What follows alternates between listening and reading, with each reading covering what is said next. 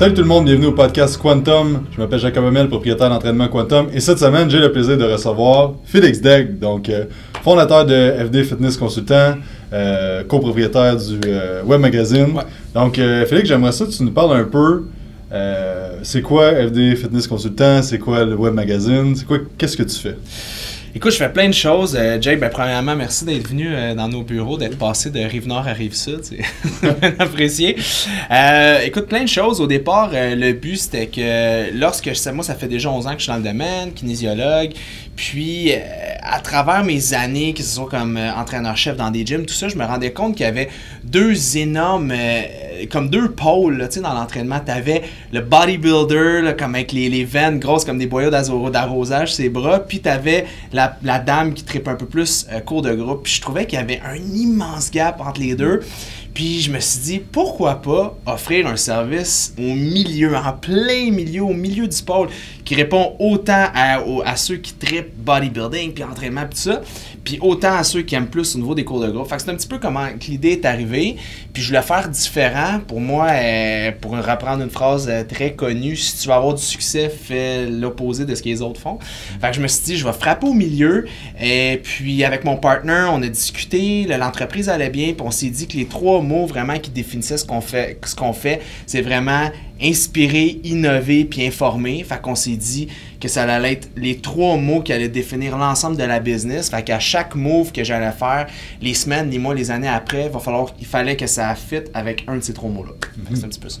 Puis, comment c'est venu l'idée du web magazine? Puis, comment vous avez commencé ça? C'est, en fait, c'est mon partner, Rémi, qui était dans un gros summit de fitness. Puis, euh, il avait vu que ce qui s'en venait vraiment intéressant, c'était des infolettes payantes à une pièce. Fait que là, il est revenu avec ça. Fait que là, il avait amené l'idée de l'infolette, ça, puis on était là, mais c'est poche, c'est pas le fun, une pièce, c'est poche. On s'envoie un you, un, un courriel. Puis moi, j'avais l'idée de monde qui, m'envoie des masses courriels, puis j'y lis pas. Fait que j'ai dit, l'idée est intéressante, puis on a décidé, on s'est dit, ben pourquoi on pourrait pas faire un magazine, mais que ce soit papier, le faire web, parce qu'on se rendait compte qu'on avait une audience vraiment partout au Québec. Fait qu'on s'est dit, de cette façon-là, on va être beaucoup plus facile des gens de venir consulter ce qu'on fait, du contenu. Fait qu'on va pouvoir mettre des articles. Puis là, maintenant, avec les iPads, tout ça, on a vu quand la presse a passé du papier au numérique, on s'est dit, ben je pense que je pense que c'est l'air est rendu là. là. Ouais. Puis là, présentement, euh, t'as du monde qui font la consultation pour toi, t'as le web magazine. Combien vous êtes rendu dans l'équipe? euh, On est euh, en tout et partout. On a des gens qui, euh, qui s'occupent au niveau plus de la programmation, du marketing. Tout ça, on est neuf dans l'équipe actuellement. Ça, écoute, ça va super bien. On a, c'est, c'est- c'est- c'est du travail, hein, parce que c'est pas parce que tu as un gros chiffre d'affaires qui t'en reste dans les poches. mais non, on a beaucoup de plaisir. Puis je pense que c'est ça la base. La base du travail, c'est de te lever le matin. Puis Casey Neistat, le, le YouTuber, il avait dit quelque chose que j'avais trouvé vraiment cool. Il, il dit, pour, parce qu'il y a des gens qui me demandent c'est quoi le bonheur, puis c'est quoi la liberté, puis ça. Puis moi, je me dis, le bonheur, puis ma vie, c'est du moment que je me lève de mon lit, du moment que je vais me coucher, c'est de faire 100% ce que j'aime, tu sais. Mhm. Fait que pour moi, c'est ça. Puis c'était pour ça que je voulais partir mon entreprise. Euh, J'étais avec mon meilleur ami dans le business. Fait que tu sais, je peux pas demander mieux. Là, tu sais, vraiment, du moment que je me lève le matin au moment que je me couche, j'ai du fun. là. Fait que c'est ça, je me dis. Pour moi, c'est c'est comme une grosse croisière. Le, ba- le bateau comme le Titanic va planter un mané, mais je me dis au moins, je vais essayer de faire du fun la croisière, aller se faire les soupers du capitaine, puis avoir du fun. Fait que c'est un petit peu ça. Exact. Ça fait combien de temps que vous êtes en, en business? Euh, FD Fitness officiel, c'est 5. Ça, fait- ça va faire 5 ans cet été. Puis le WebMag, ça fait 2 ans, 3 ans, 2 ans, 2 ans, 2 ans, Alex? Deux ans. Deux ans. Puis euh, mon partner, il est arrivé il y a peut-être deux ans et demi, trois ans dans le business. Ça m'a beaucoup aidé. Parce que maintenant, quand tu d'être le chef d'orchestre, euh, t'es, payé dans tout, t'es jamais excellent dans rien. Sais, l'espèce de pyramide, là, tu sais, qui t'as la base qui est comme ça, mais plus t'as de connaissances, moins qu'elle vaut, là. Mhm. Fait que j'aime mieux t'en faire un peu moins, mais au moins tu s'en vas chercher ton Exact. pic. Fait que c'est un petit peu l'objectif de, de rentrer des gens aussi. euh, je suis loin d'avoir tous les talents, fait que je vais essayer, je vais chercher des gens qui, qui ont des talents que j'ai pas, puis ensemble on peut bâtir quelque chose de pas pire. Exact. Je pense qu'avoir une équipe et de déléguer, ça met un manière d'avancer plus loin. en Clairement. Puis je trouve que c'est de laisser aussi son ego de côté. Mhm. Souvent, les, les entrepreneurs, on a un peu, je trouve, le- l'espèce de complexe de Dieu. là. On pense aussi qu'on a la main qui, qui fait tout. Puis c'est de réaliser que t'es pas bon dans tout, tu te plantes, puis c'est d'être euh, capable de, de ravaler, puis de regarder en avant, puis de relever les manches, puis, puis d'écouter quand tu as des spécialistes qui t'entourent, des gens autour de toi, puis, puis vraiment d'écouter, vraiment avoir une écoute active avec eux pour pouvoir euh, avancer avec eux, puis pas tout seul euh, dans ton bateau. C'est quoi le plus gros obstacle que tu as eu là, côté business dans les cinq dernières années? Une bonne question. Je pense que le plus gros obstacle que j'ai eu, c'est de vivre. Tu sais, moi, j'ai, mettons, là, j'ai 31 ans, j'ai 32 ans, puis j'ai commencé ça, j'avais 26 ans. Puis, tu sais, moi, j'avais vécu toute ma vie. Euh, low-key, je mes affaires, c'était bien relax, puis c'était que, là, ça l'a boomé rapidement, puis c'était de dealer un petit peu avec euh, la pression, dealer avec euh, euh, l'espèce de fausse popularité. être populaire sur les réseaux sociaux, c'est comme être riche au Monopoly. C'est le fun de temps de la game, puis après, c'est fini. Mais, mais c'est. c'est pas une côte avec ta face, genre. mais euh, c'est ça. Fait que ça, ça j'ai trouvé ça bien difficile d'avoir cette attention-là. Puis j'étais un peu. Euh, J'écoutais le documentaire d'Avicii qui est malheureusement décédé récemment, puis il y avait cette espèce de, de besoin-là comme artiste de tout temps faire un hit, un hit, un hit par-dessus un hit, puis je me suis rendu compte que j'étais un peu comme ça dans la vie, que je voulais tout le temps faire un meilleur hit, puis un meilleur hit, puis un moment, ça, tu deviens malade avec ça, tu sais avec mon monteur ou quand je fais du vidéo, j'essaie toujours de faire quelque chose qui est meilleur, meilleur, toujours en faire de ce que je fais. Fait que c'est tough, là, tu te mets ta pression euh, tellement dans le tapis. Il faut toujours que tu sois meilleur. Ce que tu as fait, il faut que ce soit meilleur que la dernière chose que tu as faite, que la meilleure chose que tu as faite. Fait que c'est tough à gérer. Fait que ça, j'ai trouvé ça bien, bien difficile de m'auto-gérer au niveau de ma pression, puis d'arrêter de ben j'ai encore, c'est encore aujourd'hui, j'ai de la misère d'accepter que je peux pas faire des home runs à toutes les fois que je frappe une mm. balle. Je fais des fois des coups sûrs, des fois je fais des strikes, des foul balls. Fait que c'est ça qui est tough, je pense. Exact, exact. Je pense qu'au bout de la ligne, euh, si on parle de ça, ce que tu vas laisser comme marque, ça va être surtout tes bons coups. Puis même si tu t'es planté 30 fois sur 100, mais le monde va se souvenir pas mal plus des 70 fois que tu as bien réussi puis que tu as aidé plus que les shots que tu as fait dans la vidéo. Exactement. Je suis sûr que c'est la même chose pour toi, Jake. Tu reçois 120 bons commentaires, tu en reçois un pas bon. Le pas bon, tu vas y penser toute la nuit, mais les 120 commentaires, tu y penseras pas. Puis pour venir avec qu'est-ce que tu dis, c'est la même chose en vente. sais Moi, j'ai des amis qui, vendent, qui sont des vendeurs dans leur business, puis je leur dis tout le temps, le meilleur vendeur, puis je prends l'exemple d'un vendeur de char, c'est celui qui est capable de se faire dire huit fois non, mais que la neuvième fois, il se fait dire oui, tu sais. Mhm. Puis là, il peut rattraper sa tête, il vend le gros char qu'il avait, s'il avait vendu plein de petites autos dans la journée. Fait que c'est juste de garder tout le temps la même motivation. Plus que tu te fais fermer des portes dans le visage, plus avoir le goût de te dépasser. Puis c'est ça qui est tough, tu sais. Même en entraînement, tu sais. Euh, tu te plantes, ben, c'est de revenir le lendemain plus fort. c'est ça qui est difficile, c'est d'être confronté constamment à l'échec, puis de continuer comme un chien à grinder, à grinder. C'est ça qui fait, je pense, le succès, c'est la constance dans peu importe qu'est-ce que 100%, tu fais? 100%.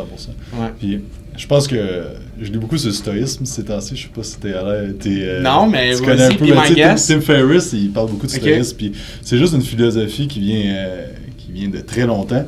C'est juste de voir les choses telles qu'elles sont vraiment. Fait que, tu sais, quand quelqu'un dit non à une vente, à une vidéo, juste de dire, OK, pourquoi, tu sais, de pas prendre ça personnel, puis justement ton ego te l'a laissé euh, atteindre? Parce que la personne, tu sais pas qu'est-ce qui est arrivé dans sa vie. Tu sais, ça se peut que la personne. Euh, l'autre jour, j'ai un bon exemple. Il y a quelqu'un qui écrit quoi sur un commentaire une photo transfo, genre, euh, hey, pour vrai, change de coach, c'est bon rien en trois mois, tout ça.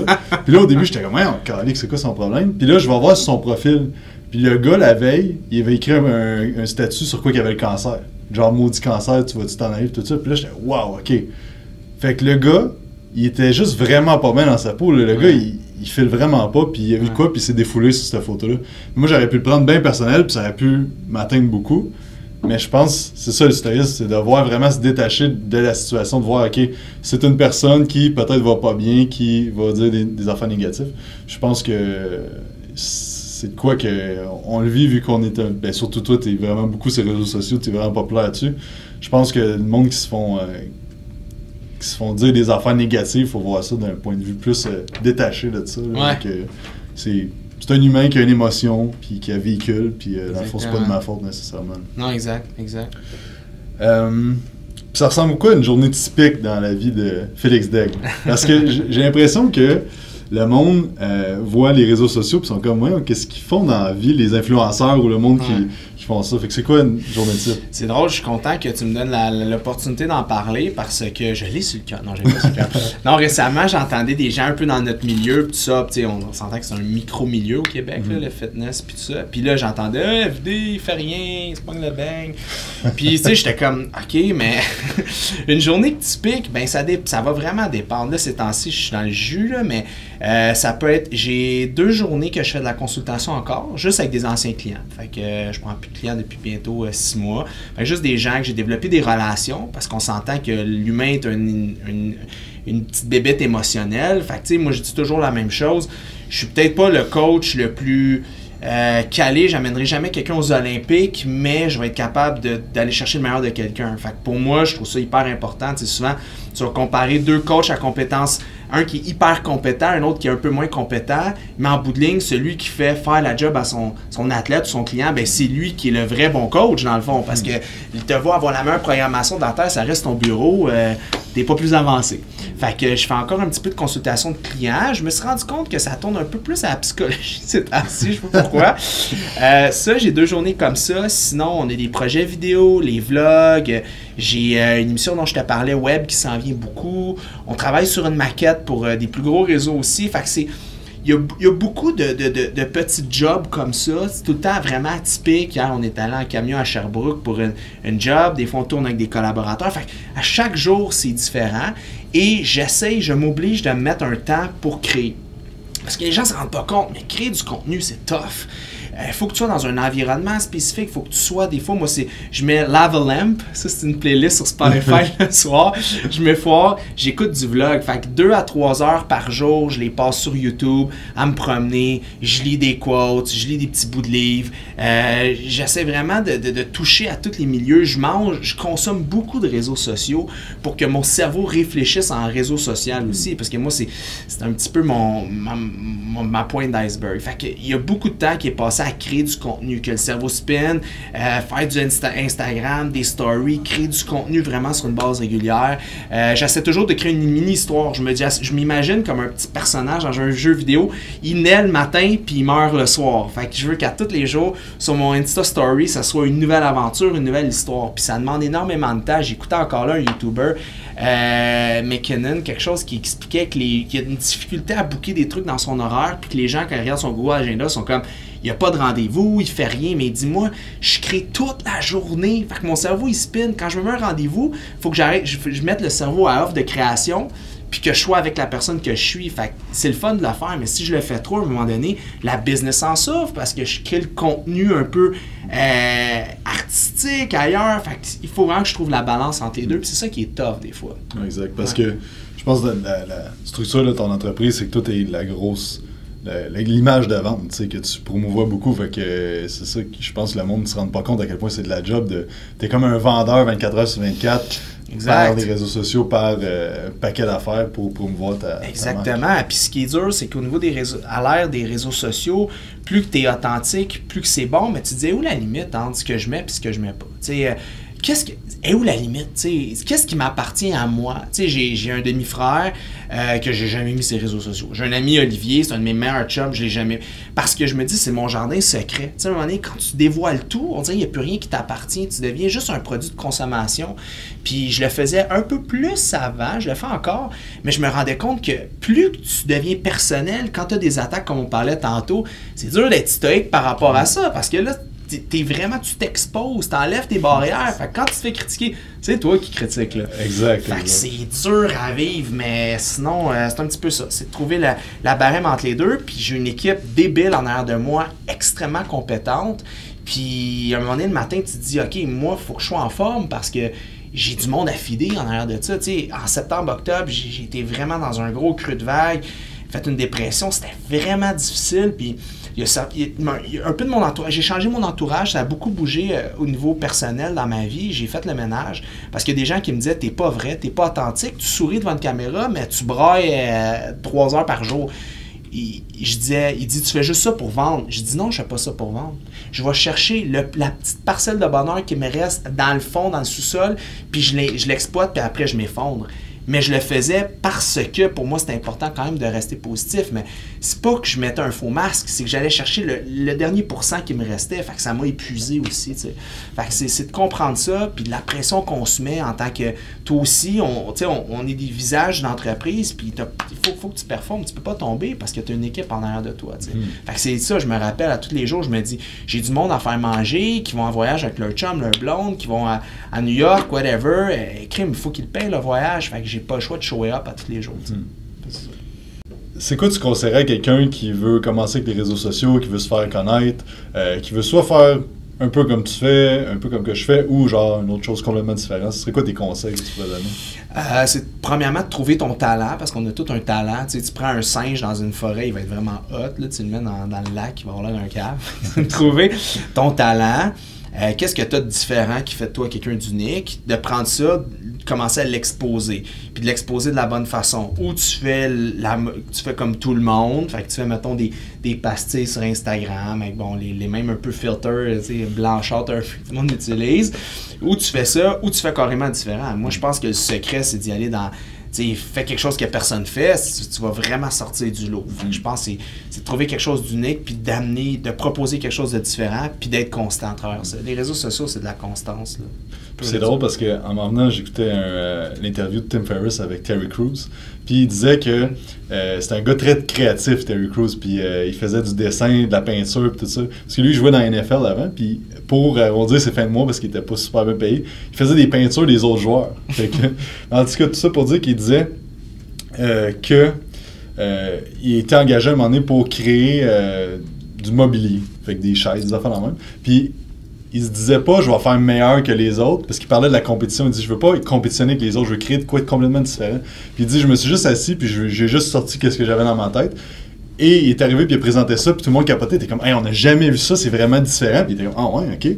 Puis finalement, il a fait vraiment beaucoup d'argent avec ça parce que c'était complètement différent, puis il s'est pas mis en compétition, dire, ah, je vais faire comme lui, mais je vais juste changer. Il a juste créé de, quoi être complètement différent. Puis ça me faisait penser justement quand je m'en venais que c'est exactement ça que tu as fait parce que un moment donné, tu avais dit dans une vidéo ou un, post, que euh, tu te demandais qu'est-ce que tu voulais faire quand tu étais plus jeune, puis que tu étais comme, mais ça existait même pas dans le fond. Parce que c'est vrai pareil que que tu fais, tu sais, je suis sûr que tu dis, mettons, quelqu'un qui connaît vraiment pas, dit qu'est-ce que tu fais dans la vie, t'es comme, ouais, mais c'est un peu compliqué qu'est-ce que je fais, parce que ça n'existe pas vraiment, mais, euh, mais c'est ça, fait que de faire quoi complètement différent, c'est vraiment intéressant comme. Euh, ouais, vraiment, puis, euh, mais moi, j'ai toujours eu ce complexe-là, là. je l'ai peut-être différent des autres, je pense, parce que j'ai une relation avec mes parents là, que j'ai, je, me, je me suis senti jamais vraiment aimé, puis c'était jamais assez. Puis, tu sais, mettons, j'avais une bonne note, c'était Ah, ben, t'as, t'as sûrement triché. Tu sais, j'étais vraiment élevé là-dedans. Fait j'ai comme. C'est un défaut que j'ai, que j'essaie de travailler, mais j'ai un besoin en dedans de moi, tout le temps de me prouver à moi-même que non, t'es capable, t'es capable. Fait que, tu sais, c'est, c'est vraiment demandant, puis je me mets tellement de pression dans la vie, mais tellement de pression à tout le temps être une meilleure version de moi-même. Puis je suis vraiment dur avec moi. Tu on en parlait un moment donné qu'on s'était vu. Tu mes, vidéos, je réécoute 100 fois. Puis là, je remarque, ah, ça, c'est pas bon. Ah, ça, c'est pas bon. C'est pas. Puis je dis jamais, ça, c'est bon. Là, je vais dire, ça, c'est pas bon. Fait j'essaie toujours d'être. Je suis vraiment, vraiment exigeant. Puis c'est pas toujours positif parce que je pense que j'aurais une facilité à créer si je serais pas pogné avec toutes ces patterns-là dans mm. moi. Si j'essayais pas toujours de me prouver que je suis bon, puis que j'ai pas des patterns qu'il faut toujours que, que je sois meilleur, que je produise quelque chose de meilleur. Parce que, tu sais, quand personne te dit jamais Ah, t'es bon dans, quand t'es jeune, ben à un moment donné, je dis pas donner des trophées à tout le monde comme aujourd'hui. Juste que quand tu fais un bon coup, c'est quand même bon de le souligner. Fait que moi, je le souligne jamais. Tu sais, je suis comme c'est correct, mais je veux toujours plus. Fait qu'on dirait que, que les gens comme, sont comme Ah, il devrait, il va bien, ça va bien, ses enfants, ils montent, mais en fait, je me sens de plus en plus pourri tu sais, dans ce que je fais mhm. parce que je me mets de plus en plus la barre haute. Tu sais. Fait que, ouais. C'est drôle que tu parles de, de ça parce que. Euh, L'autre jour, je disais, euh, moi j'adore Salvador Dali, je disais son autobiographie. avec ton euh, tatou et tout. Puis dans le fond, c'est qu'il disait que lui, le stress, c'était la chose qui tuait le plus sa créativité. Puis lui, il disait quand il voulait être vraiment créatif, il se pognait une cloche entre ses doigts, puis il faisait une genre de méditation, il faisait juste relaxer, penser, puis se perdre dans ses pensées. Puis quand il venait comme pour tomber endormi, la cloche, elle tombait. Puis là, ça le réveillait, puis là, c'est là qu'il créait. Fait que c'était genre sa manière que de pas avoir de stress du tout, puis se mettre dans un état créatif. Fait que tu sais, j'imagine que la pression que tu te mets, euh, tu seras peut-être encore plus créatif. Si, euh, fait que c'est parenthèse que C'est vraiment cool. Puis, euh, mais je pense que c'est bon. D'un sens, tu es sûrement rendu là parce que tu étais comme ça aussi. C'est sûr. C'est sûr. Il y a toujours du, il y a toujours du positif par rapport au négatif, mais c'est ça. Cool. puis, Est-ce que tu as eu un impact, euh, on va parler de l'algorithme Facebook, est-ce que vous avez eu un impact négatif? Puis est-ce que tu investirais plus ton temps dans Facebook, Instagram, euh, YouTube, euh, Snapchat, je sais pas trop? Bonne question. je pense pour les petites, petites business, Facebook reste vraiment intéressant. Genre les petites là en bas de 5000 abonnés, là, c'est vraiment cool. Mais je pense qu'en ce moment, vraiment, nous autres, l'algorithme nous a vraiment touché beaucoup. Puis c'est plate parce que, tu sais, je pense qu'ils ont, changé l'algorithme Facebook pour qu'il y ait plus de contact d'humain-humain, puis tu, sais, que tu vois plus que tes amis postent. Mais ce qui arrive, c'est que souvent, il y a des business qui font partie maintenant de ton entourage, puis c'est plate parce que tu vois plus leur contenu. Fait nous, on a trouvé ça vraiment dommage. Instagram va vraiment bien. Nous, on a poussé ça plus, puis ça me permet avec les stories puis tout ça d'être le plus authentique possible. Tu on a créé un, Instagram vraiment que c'est euh, quelqu'un au marketing, Alex, qui gère à l'interne, FD Fitness Consultant. Puis je me suis détaché pour créer un peu plus un brand personnel, Félix Degg, FD Fitness. La raison, c'est que je voulais pas juste parler d'entraînement et tout ça, mais je sais qu'il y a des gens qui me suivaient essentiellement pour ça. Fait que je me suis dit, bon, comment plaire, comment, best of both worlds, on va faire une page professionnelle qu'on va rentrer, bon, un peu motivation, tout ça, super bien fait. Puis moi, je vais pouvoir continuer à faire un peu ce que j'aime faire. Puis, fait que là, ça a débloqué ma créativité à fond. J'ai dit, aïe, j'ai plus de limites, là, je peux m'amuser, je peux. C'est comme un terrain de jeu, c'est le fun, tu sais. Fait que je pense que dans les deux prochaines années, ça va être Instagram.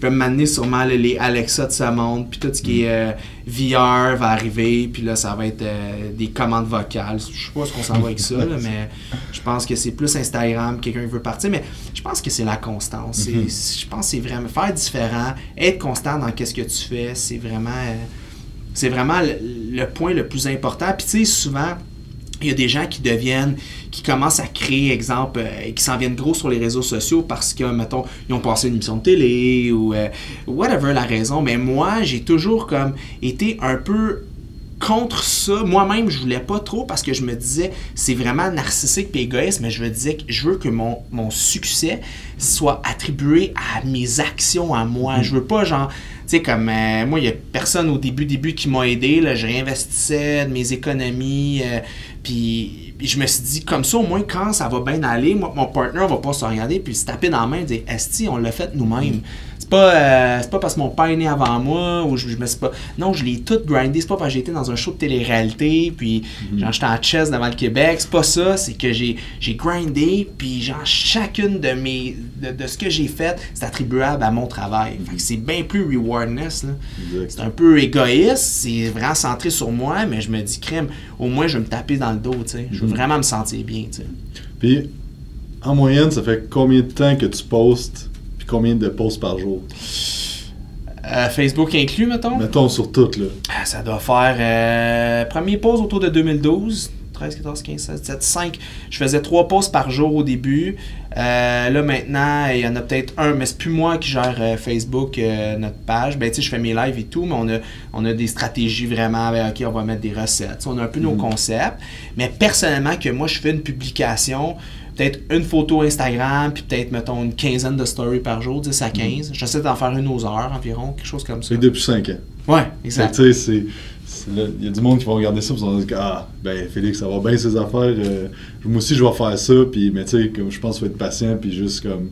Après deux mois, là, si tu poses une fois par jour pendant deux mois, ça va pas marcher. Là. Ben non un an, deux ans, trois ans, quatre ans, cinq ans. Puis tu, sauras mieux me répondre que moi là-dedans. Tu, connais plus, mais c'est comme dans le fitness, puis tout ça, qu'à un moment donné, euh, c'est comme. Euh, il faut que tu aimes le processus. Si tu veux juste avoir la finalité, tu vas être malheureux toute ta vie parce que c'est un long chemin. Tu sais, là, je vois mes affaires, mais là, dans ma tête, je viens juste de commencer. Là, Là, je vois beaucoup plus grand que je voyais. Fait il faut que tu aimes le, ton day-to-day, sinon tu vas être malheureux toute ta vie. Tu vas poursuivre quelque chose que tu n'atteindras sûrement jamais. Puis la journée que tu vas l'atteindre, tu vas vouloir encore plus. Fait faut que tu aimes le processus. Exact, exact. C'est quoi le. As-tu une habitude qui a été plus positive dans ta vie dans les dernières années? Une habitude? Ouais, une habitude, toi, dans day-to-day, qui a fait en sorte que ça t'a propulsé dans la vie? Euh, m'obliger à prendre du temps pour moi. Je suis quelqu'un qui voulait tout le temps plaire aux autres. T'sais, mettons, t'es t'es en couple avec quelqu'un, là, tu veux que la personne soit tout le temps contente, puis là, elle veut aller à quelque part, tu vas avec elle. Euh, tu as un ami qui veut faire de quoi, tu dis tout le temps oui, mais je pense qu'une des habitudes que j'ai commencé à prendre, c'est vraiment prendre du temps pour moi, puis faire ce que moi j'avais envie de faire. Félix, qu'est-ce qu'il veut faire? Fait que je prends, je prends peut-être une à deux heures par jour pour le faire, ça c'est bien important pour moi. Puis euh, à travers bon, mon cheminement au niveau euh, ma santé mentale, consulter aussi un thérapeute, c'est vraiment important. on parle de santé, santé, santé, mais c'est 50-50. Tu n'es pas bien dans ta tête, oublie ça, il n'y a rien qui va suivre. Fait que c'est vraiment mettre plus le temps sur la santé mentale, puis avoir un quelqu'un, vraiment un, vrai psychologue, un vrai thérapeute qui m'aide à travers ma découverte de soi. Puis tu je parlais avec lui, je dis, écoute Patrick, euh, je dis, puis il me fait travailler, j'en pleure une shot, puis ça me chambarde. Puis j'ai dit, on dirait que mon ADN se change. J'ai dit, ben ça a été prouvé scientifiquement que quand, après un certain temps de thérapie, tout ton ADN se modifie en fonction de tes, synapses puis tes connexions dans ton cerveau. C'est débile, là. T'es là, wow, ok, tu peux vraiment devenir. Tu sais, souvent on dit, moi je suis comme ça, c'est ma réalité. Mais sinon, c'est des patterns qu'on a, c'est des ancrages qui peuvent changer. Tu qui tu es, toi, c'est tellement abstrait. Tu, sais, mhm. peux être tellement de choses, mhm. mais c'est une question juste de comment ton cerveau évolue, comment ton éponge a été chercher de l'info à travers les années. Exact, exact.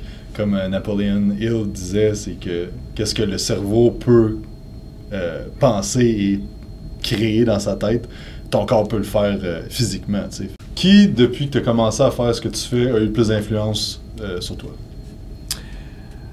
C'est je, je, pensais là puis j'ai eu je me pose vraiment la question. Je me demande je vais là j'ai l'air vraiment gentil mais je le pense je pense que c'est mon partner Rémi. Euh, on est meilleurs on est meilleurs amis ça fait peut-être 8 ans. Euh, puis je pense que le fait c'est un gars qui est plus cartésien que moi plus organisé que moi. Puis le fait souvent d'avoir son support euh, son amour inconditionnel d'une certaine façon ça l'aide énormément puis il m'a fait m'aider à devenir aussi un meilleur entrepreneur, une meilleure personne en, j'essaie de tout faire avant. Puis là c'est de m'aider à me dire non fais ça. Puis c'est d'avoir une reconnaissance. On parlait moi j'avais jamais eu de reconnaissance mais c'était un des premiers humains à me donner une reconnaissance par rapport à ce que je fais tu sais souvent les gens vont dire ah euh, il, mettons, il est talentueux dans ce qu'il fait, il sait. Ben, pas nécessairement. Je ne sais pas plus que l'autre à côté. Puis personne ne te le dit parce qu'il pense que tout le monde te le dit. Fait que finalement, ça finit que tu es tout seul dans ton bateau. Personne ne te dit jamais ce que tu fais, c'est bon. Fait que toi, tu te fies à ce que tu penses que peut-être qui est pas pire. Fait qu'avoir avoir quelqu'un qui, te supporte puis qui t'inspire là-dedans. Plus que, tu sais, je, pensais à ça, j'aurais pu dire euh, Steve Cook parce que je trouvais ça cool qu'il ait parti ça il y a 10 ans. mais vraiment un impact, là, vraiment au day-to-day, je pourrais plus à l'interne. Nice. Quelle décision que tu as prise dans ta vie qui a eu le plus d'impact sur ce qui est arrivé? Euh, c'est de. C'est une bonne question. Je pense que c'est de m'écouter vraiment, puis de me dire au pire, je me plante, je me plante. C'est la, décision de juste de sauter euh, à pieds joints, puis juste de, juste de let it go, puis de me dire que le bonheur se trouve euh, en dehors de ma zone de confort. Ça a été vraiment l'élément marquant quand j'ai décidé de, de, jumper dans FD Fitness, puis de me faire confiance, puis de me mettre une caméra d'en face, puis de commencer à parler. Je savais que j'avais un talent de communicateur, mais au début, j'étais pourri, c'était mauvais, puis c'est pas que c'était... Non, c'est pas que c'était mauvais, je, je, serais pas trop méchant avec moi, je vais me lâcher le fouet.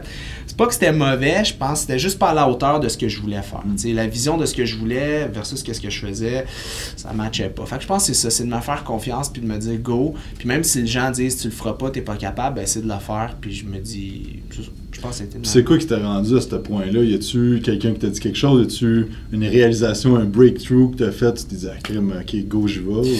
Ben, j'entraînais des clients, ça faisait un bout de temps que j'entraînais du monde, puis j'étais un peu perdu par rapport à ça. Je voulais, je me dis, comment je peux faire plus de sous? Comment? Puis là, j'étais là, je veux pas monter mes prix parce que la clientèle, souvent, qui vient avec des prix très hauts, c'est pas nécessairement la clientèle que je voulais. Euh, puis là, je dis, comment je peux aider les gens? Puis je me rendais compte que le monde était mêlé comme des jeux de cartes, là, ça avait pas rapport. Quand ce que j'entendais, ça me. Puis tu sais, je suis pas le plus euh, talentueux dans ce que je fais, mais j'en connais pas pire, puis les cheveux me dressaient sans tête. J'étais là, voyons donc, faut que tu fais ça. sais. je dis non, j'ai commencé à donner de l'information gratuite. Euh, puis c'est ça, c'était dans le but d'informer comme ça. Puis là, là j'ai eu une réponse au début, c'était, mais tu sais, les réseaux sociaux étant pas ce qu'ils sont aujourd'hui, je recevais 500 messages par jour. J'étais là, ouais, ça avait aucun sens. Pour une capsule de 3 minutes, c'est film, mettons. J'étais là, tabarouette. Fait que c'est ça qui m'a donné le goût. J'ai dit, OK, non, je peux rejoindre il y a quelque chose à faire, je peux rejoindre le monde. Puis j'en avais parlé à mon boss euh, à ce moment-là au gym, de tous mes projets et tout ça, puis lui, il était comme pas tant ouvert à l'idée. Fait que je me suis dit, ben tu peux jamais vouloir plus que ton boss dans la vie, fait qu'il faut que je devienne mon propre boss, j'ai pas le choix, parce que sinon, euh, je vais tout le temps me sentir limité. Puis n'y a rien qui me frustre le plus dans la vie que pas être capable de faire quelque chose, de comme me dire, ah, je sais que je peux le faire, puis je suis limité à cause d'une niaiserie. Fait que, euh, ouais, je pense que c'est de me faire dire non. Je pense que c'est ça qui m'a le plus craqué. Ouais. Et euh, as-tu un top 3 de lecture qui ont eu plus d'impact dans ta vie? Euh, J'y pensais. Écoute, lecture, je vais, je vais peut-être te, te rentrer des boulamiques, mais le premier livre PICP 1, je sais pas si tu te rappelles, ça, ça a été vraiment une de mes bonnes lectures dans le temps. Puis j'ai comme, c'était juste avant de faire mon bac en kin. Puis là, j'ai comme fait, wow, j'ai comme découvert ça. Puis là, je me rappelle encore avec la lecture Polyquin qui vient corriger mon, euh, ma courbe des rotateurs, sa poulie, tu sais. Je m'en rappellerai toute ma vie. Fait que ça, c'est une lecture que j'avais bien aimée. Euh, un autre, The One Thing, qui a été vraiment quelque chose qui m'a vraiment marqué il y, a, il y, a, cinq ans de ça. J'ai lu, j'ai fait tabarouette. Puis euh, une autre, une autre, un autre livre, tu vas, tu vas rire peut-être encore, mais c'est un petit livre qui s'appelle Les hommes viennent de Mars, les femmes de Vénus. T'as-tu déjà lu ça? C'est sur les relations hommes-femmes. Euh, puis ça m'a vraiment aidé à vraiment comprendre parce que souvent, je, je comprenais pas, tu sais, dans les relations humaines, pourquoi un gars pense comme ça, une fille pense comme ça. Puis ça m'a aidé aussi dans le processus à mieux comprendre les gars versus les filles, qu'on pense vraiment différemment. Que ce soit en couple, ça, ça m'a aidé à mieux comprendre comme que deux personnes peuvent vouloir dire la même affaire, mais n'ont pas les mêmes lunettes, fait qu'ils voient pas la situation de la même façon. Puis des fois, même avec euh, quand tu as des employés aussi, ça te permet d'un peu mieux comprendre comment, comment discuter puis comment faire valoir ton point. Fait que, ouais, c'est un peu psychopop ce livre-là, mais c'était correct. Fait que je pense que c'est les trois livres. Ok. Puis parlant d'employés, as-tu des. Euh, pas des problèmes, mais des, des, choses qui ont moins bien été avec ça, euh, l'éthique, parce que j'imagine que tu oui, tu gérais des, en, des entraîneurs à ton gym, mais c'était pas vraiment tes employés. Ouais. Tu as su des, des affaires moins faciles. Ouais, ouais, ben oui, c'est sûr. C'est sûr qu'on en a eu. Euh, Puis c'est jamais facile parce que tu sais, ton brand, ben là, moi, c'est mes initiales. Fait que je veux pas, ça, ça me retouche. Fait que c'est vraiment t'assurer que tes gens sont en lien avec toi. Qu'est-ce qui est bien difficile pour des employés dans un modèle d'affaires comme le nôtre, c'est que tu as une tête d'affiche qui va chercher la masse, le reward, tout ça, mais tu as plein de gens qui travaillent en dessous de talent. Puis comment ces gens-là peuvent se sentir euh, valorisés, mais sans étant une tête d'affiche, c'est tough à vivre pour un employé. C'est comme, je travaille à tous les jours vraiment fort, mais j'ai pas la même reconnaissance que l'autre qui est au-dessus, qui fait toutes ses affaires. Fait c'est vraiment de travailler à l'interne, puis de leur, leur expliquer à quel point ils sont importants pour nous, puis importants pour moi. Puis sans eux, je serais pas devenu la personne que je suis aujourd'hui. Et, puis sans eux, ben, on pourrait pas avoir les projets fous qu'on a aujourd'hui. Fait c'est de redonner au staff un peu cette, euh, cette espèce de, de, de, de valeur-là qui, qui, leur est propre et qui, qui, sont importantes, puis leur faire comprendre que, encore là, être populaire sur les réseaux sociaux, c'est être riche au Monopoly. fait que c'est comme, c'est le fun, mais votre vraie votre valeur en tant que telle n'est pas définie par vos likes, par le monde qui vous follow. Votre valeur est définie en fonction de votre entourage, puis qu'est-ce que votre entourage pense de vous, puis vos actions que vous posez à tous les jours. J'expliquais ça dans un, un, story récemment, que souvent le monde dans le bodybuilding, puis tu va devenir gros musclé, mais en bout de ligne, ça les rendra pas plus heureux, tu sais. Ils vont pas être mieux dans, dans leur peau, tu sais. J'écoutais, j'étais sûrement, je sais pas si t'as écouté le podcast de Ben Pekowski, il a fait son centième podcast. Ouais, puis il expliquait que lui, s'était bâti une grosse armure pour... Euh, euh, comme parce qu'il était insécure puis il dit le plus gros que j'ai été sur le stage d'Olympia c'est là que je me suis senti le, le, moins bien dans ma peau tu sais puis c'est ironique là tu sais mm -hmm. fait que c'est dit puis je trouvais que ça faisait du sens il expliquait que c'est vraiment tes petites victoires à tous les jours mm. Qui vont vraiment te donner confiance en toi fait que c'est un peu dire ça euh, aux employés c'est vraiment tout ce qu'ils font le day to day qui est vraiment important c'est ça leur valeur tu sais j'ai pas plus de valeur que autres là mm -hmm. c'est juste que moi je prends ce que je vis puis je, je, je l'expose tout simplement c'est un peu comme Jim Carrey disait, j'aimerais ça que tout le monde soit riche pour voir qu'au bout de la ligne, ça change rien. Ouais, c'est comme ça. la shape. Tu sais, des fois, il y a du monde qui pense que, hey, mec, je ses abdos, je vais tellement pogner avec les filles, je vais tellement être bien, je vais tellement être heureux. Mais au bout de la ligne, ça change rien par fait que... C'est tellement ça. Puis on est tellement, on est, on est interconnecté, puis on est déconnecté. Puis c'est ça un peu des fois le fitness qui me rend. Euh, j'étais un peu des fois euh, un peu j'ai un goût amer un peu du fitness de tout ça parce que je regarde ça passer là je me dis tabarouette tu sais on dirait que c'est ça sent l'insécurité quasiment à travers mon, mon téléphone puis je me dis mon dieu j'aimerais tellement aider ces gens là c'est pour ça on dirait que je fais moins de capsules informatives puis je fais plus de capsules sur la motivation parce que je me rends compte qu'il y a cinq ans aider les gens c'était leur dire comment bien manger comment mais maintenant on dirait aider les gens c'est leur faire reconnaître qu'ils ont une, leur vraie valeur à eux mm -hmm. j'ai l'impression qu'on est rendu là, c'est comme, OK, tu t'es mis en forme, là, tu vas mourir euh, 20 ans plus vieux, OK, mais là, défocus, man. C'est pas juste ça. Travaille ta confiance en toi, puis elle va pas venir de tes abdos, comme tu dis, elle va venir de tes actions au quotidien, puis comment toi tu te perçois dans l'univers puis dans ton cercle. Hmm, puis le fitness, c'est souvent, il y a du monde qui vont me dire Ah, j'aimerais ça faire une compétition de fitness. Puis à cette heure, parce que je suis un peu comme toi, comme ça commence à. Fait quand même 6-7 euh, ans que j'amène du monde en compé, puis tout ça. Puis je suis comme, pourquoi tu veux faire une compé? C'est quoi qui est important pour toi là-dedans? Puis du monde, ben, je veux me faire jouer un défi. OK, mais ça pourrait être d'autres choses d'un défi que de monter sur un stage parce que c'est un sport de génétique si t'as pas de génétique, oui, c'est un beau défi, mais après ça, tu vas te faire juger par du monde, parce que c'est un sport de jugement.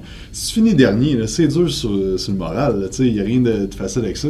Fait que tu sais, de, dire, ouais, c'est peut-être pas ça qui va me rendre heureux, là, faire une compé de fitness, puis... Euh, tu sais, moi, je l'ai vécu en 2012, ma première compé, je vivais que pour ça dans ce temps-là. J'étais comme, hey, la compé, la compé. J'ai fini deuxième, puis là, j'étais démoli, puis j'étais, j'ai tellement travaillé fort, mais ça n'enlève pas le gars, il a travaillé aussi fort que moi, sinon plus, il a gagné, tu sais, puis mais le lendemain, j'étais comme, OK. Je me souviens que je restais à Montréal à ce temps-là, puis je m'en allais en autobus.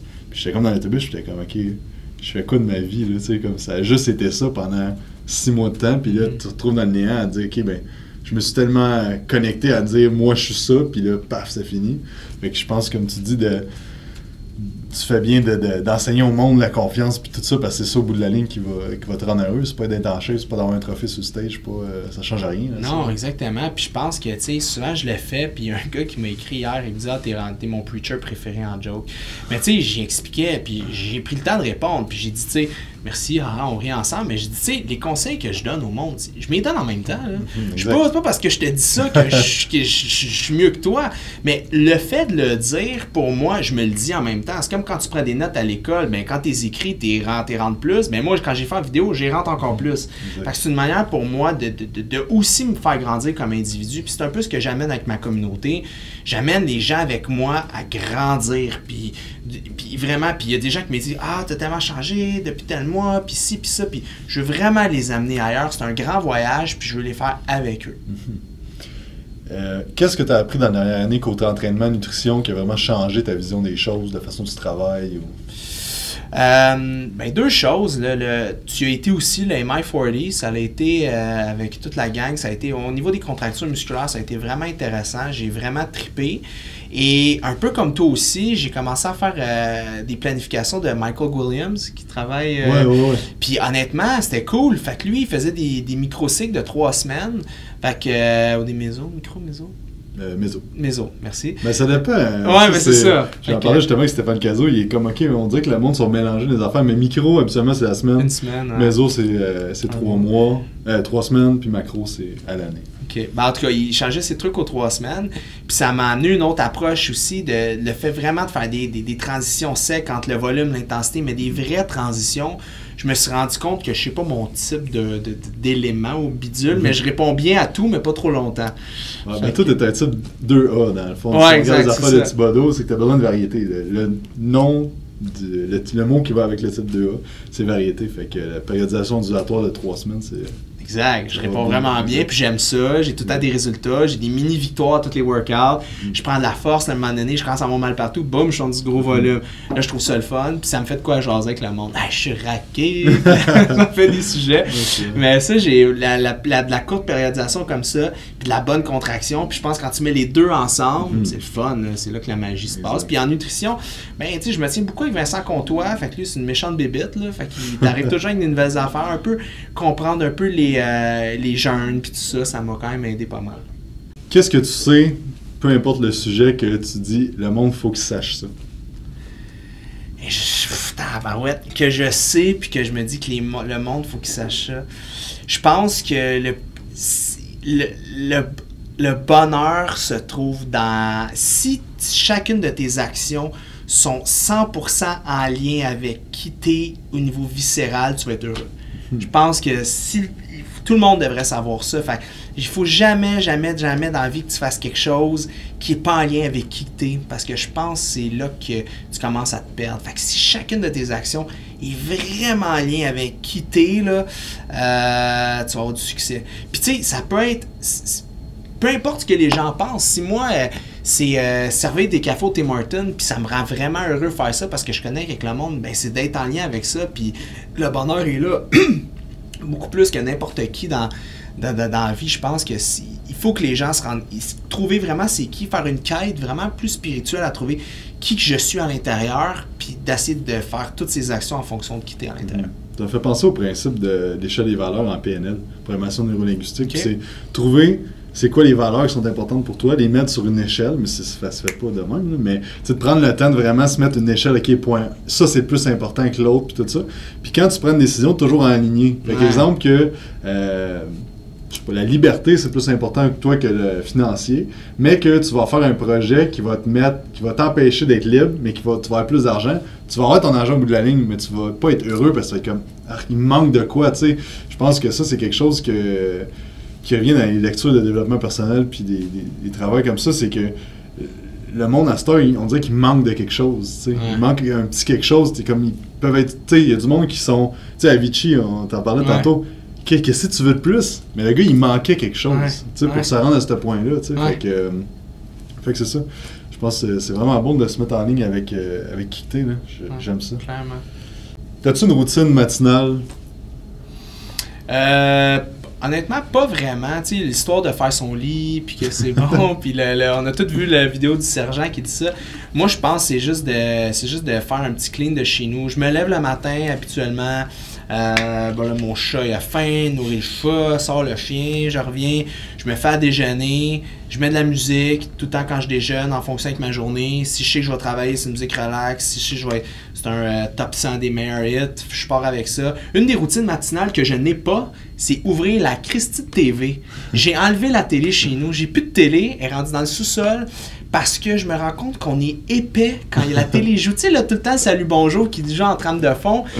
C'est- On dirait que ça rend niaiseux, puis ça fait un an, j'ai plus de télé, puis c'est le plus beau cadeau que je me suis fait. Il y a une quiétude, il n'y a pas des annonces euh, de, de Big Mac qui passent en trame de fond. Mon cerveau est moins tout le temps défocus là-dessus. Je trouve que c'est la meilleure manière de créer un déficit d'attention. Une télé qui joue, ça, c'est une habitude que je n'ai pas le matin. Puis je suis bien content de pas l'avoir. Puis ni la radio. Avant, j'écoutais, sans le nommer, j'écoutais Arcan. Puis je pensais que j'aimais ça. Puis j'ai réalisé non, parce que je trouvais ça tout le temps négatif. Ça chialait. J'étais là, ah, c'est lourd. Puis moi, je pensais que je m'informais, mais je me désinformais. Ça, ça me mettait des idées déjà dans ma tête au lieu que moi-même, je prenne position sur des enjeux puis des choses au quotidien qui arrivent. Fait que euh, non, ça, c'est des routines que je n'ai pas. Je sais pas si ça peut répondre à bon, ta ouais, question. c'est là. c'est Euh, ça. C'est un peu comme toi, moi j'ai pas télé depuis 5 ans, puis mon dieu, je m'ennuie pas. Si je vais chez mes parents des fois, puis là le matin, ils mettent ça.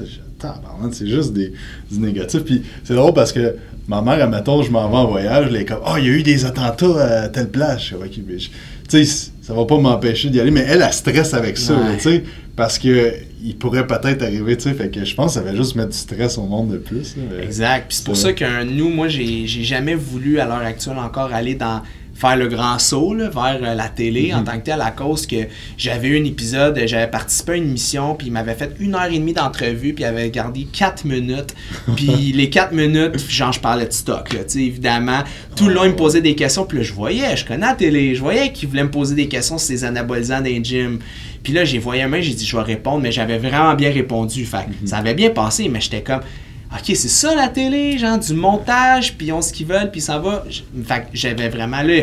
Bon, il y a un projet en, en- en ce moment qu'on on planche dessus, peut-être que, mais c'est une des raisons pourquoi j'étais plus sur le web. Je pouvais contrôler ce que je dis, je me faisais pas censurer, puis c'était vraiment moi l'état peu. ouais. T'as-tu une routine le soir avant de te coucher? je m'assomme vraiment. pas avec un bat de baseball, là. Mais euh, écoute, je suis un gars, je sais pas quel neurotransmetteur j'ai de déminage, genre acétylcholine, dopamine dans le tape. Mais le soir, là, je prends du magnésium thréonate, ça a sauvé ma vie, là, en blague. Là, mais on dirait que ça me calme le monkey mind. Fait que je fais tous des trucs vraiment pour relaxer le soir. Je me mets en jogging bien vite, je prends une douche, je me mets en jogging, je me fais avec mon chien, j'ouvre mon laptop, je me mets des noise reduction de Bose ses oreilles, puis là c'est là que je fais mon une heure ou deux que je consomme du média. Je consomme, je consomme, je consomme. J'en consomme tellement que je me sature, fait que là dans la nuit, souvent mon cerveau travaille, puis là le matin je me lève, puis je me dis, là je vois tout ça, puis je me dis, ah mais je veux faire, moi je veux toujours faire différent. Fait que c'est ça qu'ils ont fait, comment je pourrais faire différent qui me représenterait? Fait que là, c'est là je pop un nouveau projet, je pop un nouveau défi. Fait que euh, le soir, c'est vraiment du moment que je relaxe. Je me prends tous les suppléments pour me donner possible. Euh, puis j'écoute du YouTube, puis du, je consomme du social media à côté. Good. Et euh, c'est quoi les projets pour FD et euh, Web Magazine pour cette année? Mon Dieu, il y en a beaucoup. On déménage, on déménage, euh, on se fait un beau petit bureau Pinterest, bien cute. On est bien content. On va avoir enfin un endroit qui est un peu plus accessible à tous. Fait que les gens peuvent venir prendre un café. Ça. Ça, c'est bien le fun. Ça, c'est un des projets. Euh, des programmes en ligne, j'adore ça. Ça me permet de, de pouvoir donner à ma communauté ce qu'ils peuvent pas venir chercher chez moi, à nos bureaux. Ça, c'est le fun. Euh, J'aimerais ça faire une autre formation personnelle, continuer mon développement personnel, puis euh, mon brand aussi personnel, continuer à pousser un peu ce que je fais au quotidien, continuer à compter mes petites histoires avec mon, mon petit personnage qui C'est meurt euh, le lendemain. Euh, c'est pas mal ça. Sinon, travailler en ce moment, c'est drôle que tu m'en parles. On travaille avec une, une firme qui fait toutes nos ressources humaines maintenant. Fait qu'on là, on a, justement, on travaille sur l'émission, un peu comme on parlait, l'émission d'entreprise et tout ça. Fait que c'est vraiment de créer une espèce de standard à l'intérieur de la business. J'aimerais ça devenir l'espèce de Google du fitness à l'interne, tu sais, que les gens trippent, aient vraiment un plaisir à travailler. C'est vraiment mon but, redonner pas mal par rapport à ça. Puis euh, on a tellement de projets comme année. C'est juste, je pense, de rester sain là-dedans aussi, sain d'esprit, parce que je suis un excessif. Moi, je roule dans le tape, puis je me brûle, puis je tombe, puis là, il faut que je me relève, je rebrûle, puis je tombe, puis je suis tanné de faire ça. Je suis écœuré, parce que quand, quand je roule, ça va bien, quand je tombe, ça fait mal, puis je suis tanné de tomber. Maintenant, je vais apprendre à chauffer le bicycle. fait que euh, c'est ça, apprendre à tirer à plug quand il faut tirer à plug, puis à déléguer, puis à pas trop en prendre. Mais mais tu sais, Jake, je suis un excessif dans la vie, je suis un intense, je suis un émotionnel. Fait il faut que je me contienne, mais c'est bien difficile. Puis je pense pas y arriver à court terme, à moyen terme peut-être, mais c'est ça. C'est juste de rester intense, puis de m'accepter comme que je suis, je pense, puis de m'aimer comme que je suis aussi. Tu vois, je sors beaucoup le fouette. Moi, je tout le temps, je suis un ci, je suis un ça, mais c'est de relaxer le fouette, puis un peu plus accepter comme je suis, puis dire, t'es comme ça, voici où est-ce que tu veux t'en aller, mais accepte-toi au quotidien, puis c'est ça. Cool. Fait qu'un gros merci. Puis euh, de la part de, de tout le monde, je pense euh, c'est bon que tu fais. Puis, Hey, euh, merci. moi, j'aime ça, Hey, j'aime ça de suivre puis tout ça. Puis c'est, c'est cool parce que euh, je pense que la compétition dans le fitness, il y en a beaucoup. Puis c'est le fun d'avoir que toi, tu promouvois bien du monde. Puis que euh, tu pousses tout le monde, tu propulses le fitness au Québec. Ah ouais. Avec tout le monde, tu sais. Fait que, tu de pas voir ça comme une compétition, mais juste comme une équipe du Québec au complet que tu propulses. Fait que c'est vraiment cool. Cool, c'est gentil. Peut-être pour finir, le but, comme tu dis, puis tu le fais bien aussi, je pense que c'est important. On travaille tous dans la même optique, c'est rendre les gens plus en santé puis plus informés. Fait que, tu sais, en bout de ligne, et puis il y a de la part de marché pour tout le monde. N'importe quoi que tu veux faire dans la vie, il va y avoir des gens qui vont répondre à toi. Fait que t'es juste resté. Assez juste d'être tout le temps le meilleur que toi la veille, puis focus en avant, puis donne des tapes dans le dos aux gens qui réussissent autour de toi. Puis c'est tellement plus fun de réussir dans le positif que réussir dans le négatif. là. Exact, exact. Yes. Un gros merci, Félix.